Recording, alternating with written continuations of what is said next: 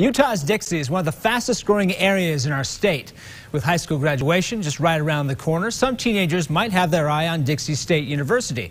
In this sponsored segment, Ali Monson shows us how the university is expanding. Well, I have come a long way, and I'm so excited to be about 300 miles south of the news station um, on really an abnormal day in St. George. I'm pretty sure I brought the rain with me, guys. I'm so sorry. Well, thank you. Actually, we, we like the rain, we, but but it has been a fickle spring. Yes, I'm glad tomorrow's my day to play. I'm so excited to be here with the mayor of St. George, John Pike, and then of course Dr. Michael LaCourse uh, from Dixie State University. I'm in my Trailblazer red, and I'm so excited to be here. Talk to me about St. George and what's going on. You know, it's kind of what isn't going on in St. George. We, we have been one of the fastest, if not the fastest growing uh, cities and areas in the country for the last several years. And, and so that means it presents its own challenges, but, but it means we've got to keep up as best we can with the growth in not only residential, but commercial and the education demands. It makes sense why you're on the board of trustees here at Dixie State University because in order to feed the economy and the growth in business and all of the different programs, you have to have the education right, in order to help accommodate for that. Um, Dr. LaCourse, tell us a little bit about what we're focusing on here at the university. I know that there are so many programs that are expounding at an extremely rapid rate. In fact, one of the fastest growing in the country right now. That's right. You know, it's it's a great time to be here at Dixie State University. Let's talk for a minute about some of your areas of specialty here at Dixie State University. I know healthcare is a big one. Healthcare is. We've got a fantastic uh, partnership with Intermountain Healthcare. We've had that for decades now.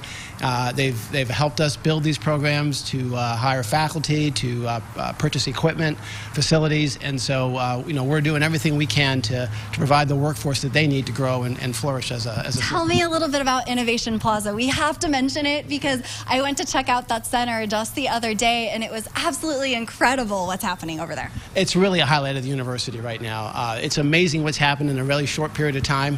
Uh, we really started working on the innovation entrepreneurial part of the university only about two and a half years ago and in that short period of time we have about 90 patents, about 27 businesses that have come out of this and we're really just getting started right now. So bright future ahead. It's growing rapidly. It's amazing to see some of the businesses and the creative minds at work within one place is so inspiring. And I love that it's not just for students, it's for members of the community. Heck, I think I need to move to St. George to start a few businesses. Uh, Mayor, what is your plan in the next five years, concisely said, like where do you think St. George will be? I think our job and, and what we're most excited about is to grow and diversify our economy. And we're going to do that largely by uh, through tech. And we're building with private partners, uh, the old airport up on the hill will become Tech Ridge. I think so many of us used to think of St. George as this quaint little like vacation city, right? That the only thing feeding the economy is hotels and hospitality, but that simply is not the case anymore. This is a city on the move. I'm so glad I was able to be here. Gosh, I'm ready for the weather to warm up a little bit. I think tomorrow's going to be better. Mm. I'm ready to hit the pool. we support that, yeah, and yeah. Uh, I wish we could too. Yep. I know, these guys are busy hard at work. For now, back to you guys in studio. Good idea, Ali. All right, if you want to check out Dixie State, everything you need to know is right there on your screen. You can visit their website, call their offices, or visit the campus there in St. George. Stick with us. Your full pinpoint weather forecast for the week is right after the break.